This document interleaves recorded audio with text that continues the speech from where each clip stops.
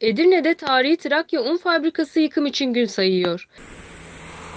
Edirne'de zamanında birçok vatandaşa istihdam sağlayan Trakya Un Fabrikası yıkımı hazırlanıyor.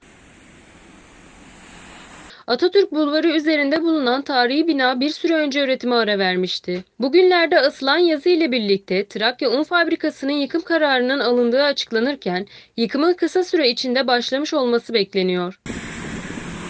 Yıkım şirketi yetkililerinden alınan bilgilere göre Ocak ayı itibariyle başlanacağı öğrenildi.